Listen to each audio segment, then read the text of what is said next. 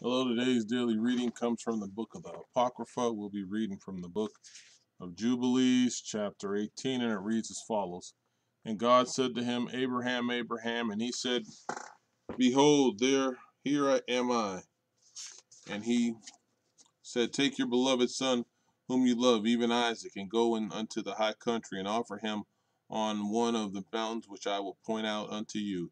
And he rose early in the morning and saddled his ass and took his two young men with him, and Isaac his son, and clave the wood of the burnt offering. He went to the place on a third day, and he saw the place afar off.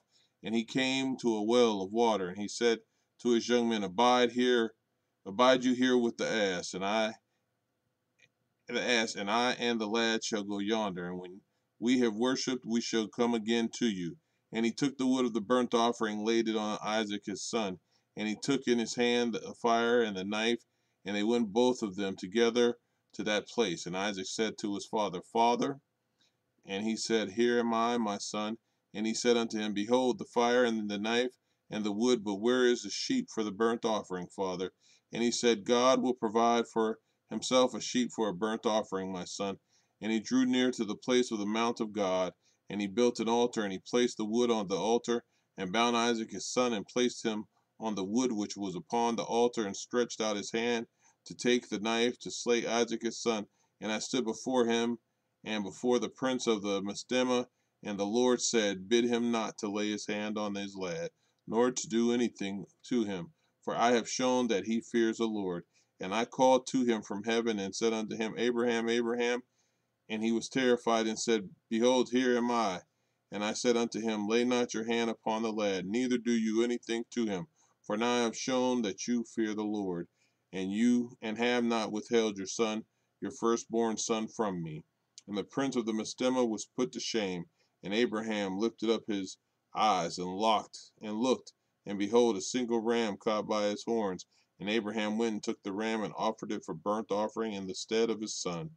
And Abraham called that place the Lord has seen, so that it is said in the mount, The Lord has seen that is Mount Zion, and the Lord called Abraham by his name a second time from heaven, as he caused us to appear to speak to him in the name of the Lord. And he said, By myself have I sworn, saith the Lord, because you have done this thing, and have not withheld your son, your beloved son, from me, that in blessing I shall bless you, and multiply, and multiplying I shall multiply your seed as the stars of heaven, and as the sand which is on the seashore. And your seed will inherit the cities of its enemies, and in your seed will all nations of the earth be blessed because you have obeyed my voice and have shown to all that you are faithful unto me and all that I have said unto you. Go in peace.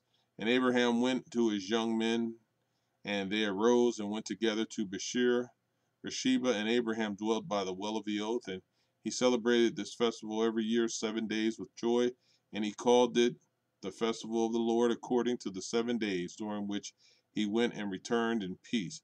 And accordingly, has it been ordained and written on the heavenly tables regarding Israel and its seed that they should observe the festival seven days with the joy of the festival.